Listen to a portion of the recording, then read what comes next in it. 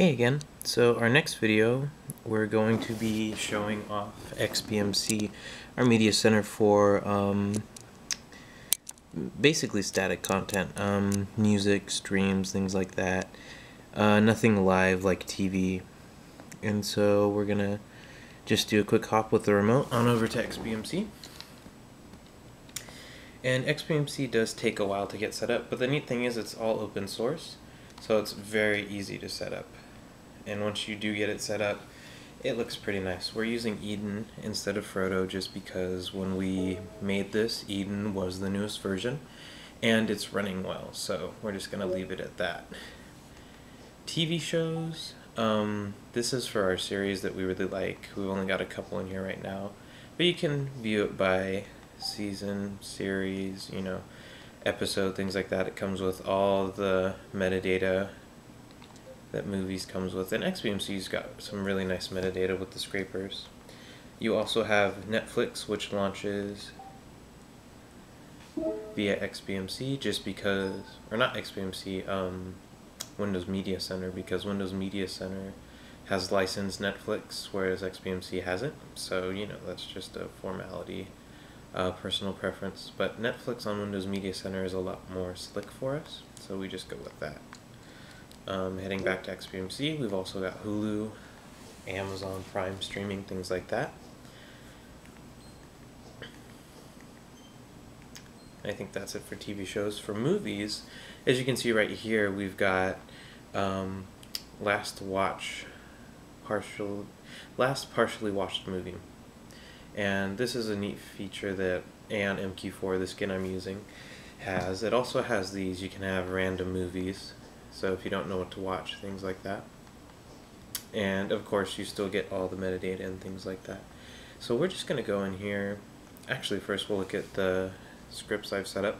And by the way, all this is outlined in the link in the video description I'll be putting up you can view how I put all these together, how I organized it, the hardware for the media center itself, and things like that.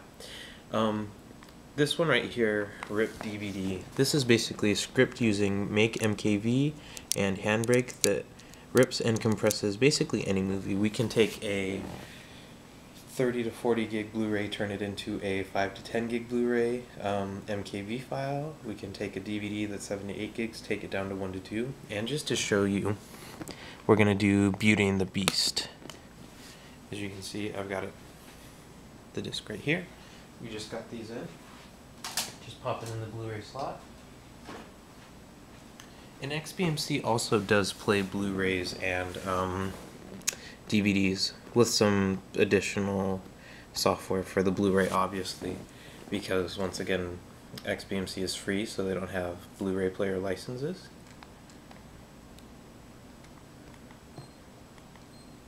But you can see the controls for play, pause, stop, everything right there. We're not going to do that. What we're going to do is we're going to start the rip. And this basically kicks off the script.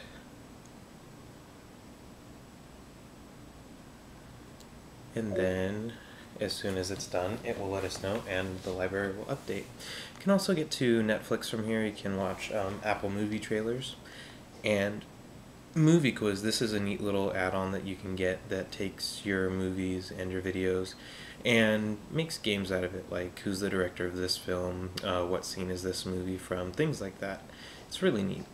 A good icebreaker or a way to pass the time. And so if we go in here, we've got pretty much the same view that we had for TV shows. It shows you metadata, you can view info, things like that. Sort by various categories. Um, the remote itself has a, zoom out here, numpad that you can use to jump really quick. So I can jump to any sort of category alphabetically, things like that. And just to show you video quality, we can play a quick video to show you how it runs. Playback is pretty darn efficient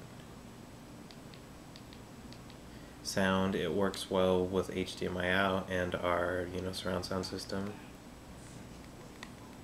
Like I said, I've got the volume down low because people are sleeping.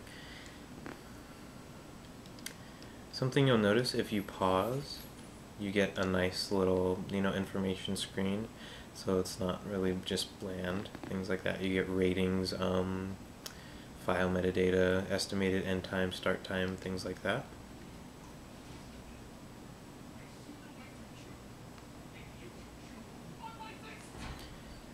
Playback continues in the background as you can see and also in the main menu when you're watching it. You can control it from the little toolbar there, things like that. And that's basically all there is to XBMC's movies. Um, you can get a lot of add-ons and things like that. If you like um, Sick Beard or Couch Potato for movies and TV like that, you can do that sort of thing. Um, but we basically just make backups of all our DVDs or whatever we stream via Amazon or Netflix. So the auto rip and Netflix, Amazon, and Hulu are basically all we need. And once again, with the remote, you can pause, play, fast forward, skip scenes, stop, rewind. You know, anything you can think of. Um, the Harmony remote and the HP uh, AV receiver really work well together. But this video is getting kind of long, so I think we're going to leave it at that, and next time we will pick up with the games section. So stick around.